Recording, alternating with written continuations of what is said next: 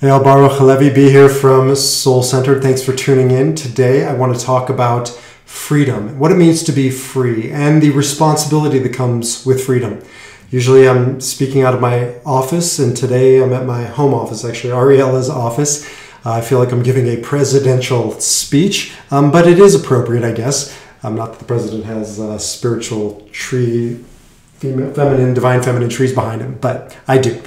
And I want to talk about this because I'm home for Memorial Day and I have the day off. Like so many Americans, so many of us who are free. Well, in America, we are all free. And we are free because of the men and women of the United States Armed Services who have given the ultimate sacrifice so that I can be at home and you can have your barbecues and they can go swimming and we can all enjoy our freedom. But it's only because of those men and women who came before us and gave that ultimate sacrifice that we can be free. And with our freedom comes responsibility. And that's really what I want to talk about. We don't usually think of freedom and responsibility. Dr. Frankl, my teacher and mentor, Dr. Viktor Frankl, talks a lot about this and really frames it as freedom from and freedom to. And usually we think of freedom as freedom from. I'm free from tyranny. I'm free from today having to go to work. I'm free from a negative consequence. And that is a beginning point, but it's not the end point. He writes the following Freedom is not the last word. Freedom is only part of the story, half the truth, writes Dr. Frankl. Freedom brings with it responsibleness. Freedom, simply put, brings with it a responsibility. And he talked about it regarding the Statue of Liberty. He said, That's right, that's half the equation. The Statue of Liberty, the Statue of Freedom.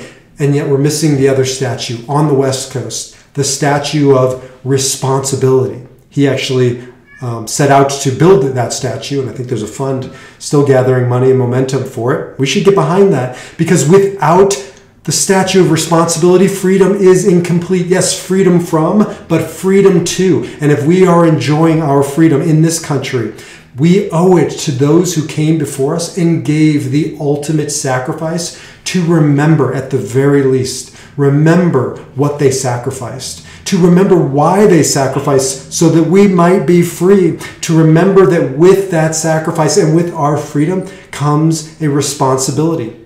Now, you may not serve in the armed forces. God bless those who do. I wish I would have. It's one of my deeper regrets in life, but life is complicated. Thank you for your service. But we all can therefore serve in a different way. We can all be responsible for our freedom to give back, to contribute. Or, as Dr. Frankl would say, self transcendence. However, you get there, just get there.